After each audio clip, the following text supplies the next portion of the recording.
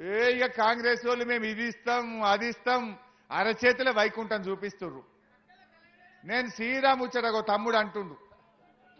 ఒక అర్ధగంట పోతే కర్ణాటక కదా పక్క పంట. కర్ణాటకకు మీ పిల్లలు ఇచ్చి ఉంటారు పిల్లని చేసుకొని ఉంటారు కొంతమంది. చుట్టాలు ఉండి ఉంటారు మీకు.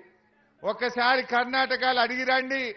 ఆడ ఆడపిల్ల పెళ్ళికి కళ్యాణ లక్ష్మి కింద లక్ష రూపాయలు ఇస్తుండ్రా. ఇవాళ మన కేసీఆర్ ఒక్క పెళ్ళి రెండు పెళ్ళిలు కాదు.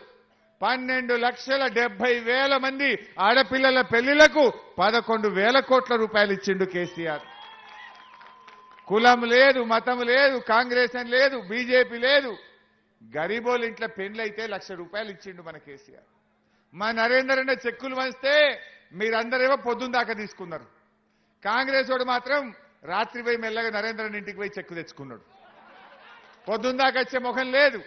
పొద్దుకి పోయి అన్న జర బిడ్డ అయిందే అని అడకచ్చుకున్నారు కానీ ఇలా మన కేసీఆర్ మాత్రం పేదోళ్ళందరికీ సాయం చేసిండు. పేదింటి ఆడపిల్లల పెళ్ళిళ్ళు జరిపించిండు. ఆడవాళ్ళ పిల్లలు డెలివరీకి పోతే కేసీఆర్ కిట్ ఇచ్చిండు. ఆసుపత్రులు బాగా చేసిండు. ఇలా నేను అడుగుతున్న కర్ణాటకలో ఆ పరిస్థితి ఉందా? ఇవాళ కర్ణాటకలో పోతే మూడొద్దులకు ఒక్కసారి నల్లొస్తుంది. కర్ణాటకలో ఆడపిల్ల పెళ్ళికి రూపాయి ఇయ్యరు. ఇవాళ వృద్ధులు కానీ వితంతువులు కానీ మన పెన్షన్ ఎంత అమ్మా పెన్షన్ ఎంత? రెండా? రెండు వేలు. మరి పక్కన కర్ణాటకలో కాంగ్రెస్ గవర్నమెంట్ ఉంది. అక్కడ ఆరు వందల రూపాయలు ఇస్తుర్రు. ఐదేనా? ఐదు కొందరికి ఆరు కొందరికి ఇస్తుర్రు డెబ్బై ఏళ్ళ లోపలకి ఐదు డెబ్బై ఏళ్ళు దాటితే ఆరు వందలు ఏదో ఉన్నది. నేను ఎక్కువదే చెప్తున్నా ఇంకా. ఆయా కర్ణాటకలో కాంగ్రెస్ ఇచ్చేది ఆరు వందల రూపాయల పెన్షనే.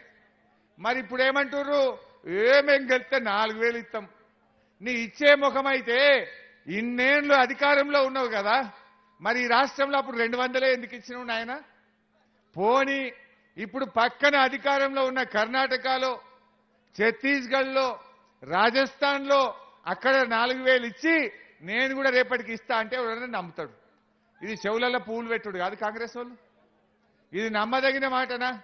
కేసీఆర్ ఒక మాట అన్నాడు రెండు వందలు వెయ్యి చేస్తా అన్నాడు వెయ్యి ఇచ్చి చూపించిండు.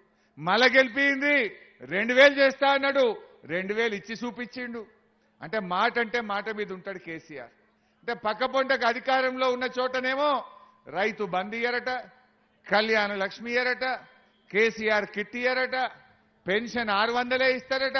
రేపు తెలంగాణలో ఏవో ఇజ్జెత్తం అజ్జెత్తం ఓట్ల కోసం ఇక చెప్పే చెప్తుర్రు. ఈ ముచ్చట ఎట్లున్నదంటే వెనకటికటే ఎవడో ఒకడు కన్న తల్లికి అన్నం పెట్టలేదట కానీ పిన్న తల్లికి బంగారు గాజులు చేయిస్తా అన్నాడట. ఈ కాంగ్రెస్ వాళ్ళ కథ గట్లున్నది. అధికారంలో ఉన్న రాష్ట్రంలో ఇయ్య శాత కాదట. తెలంగాణలో అది గెలవనే గెలవది. అది రానే రాదు. ఈడ మేము ఇది ఇస్తాం అది ఇస్తాం అంటే ఇది ఉత్తమ మోసం కాదు. దయచేసి ఆలోచన చేయండి. ఇలా ఈ రాష్ట్రంలో ఒక విషయంలో స్పష్టత ఉన్నది. ఎవడెన్ని జిమ్మిక్కులు చేసినా ఎవడెన్ని ట్రిక్కులు చేసినా బీజేపీ లేచేది లేదు కాంగ్రెస్ పార్టీ గెలిచేది లేదు. గెలిచేది హ్యాట్రిక్ సీఎం మన కేసీఆర్. అందులో ముమ్మాటికి ఎవ్వరికి అనుమానం లేదు.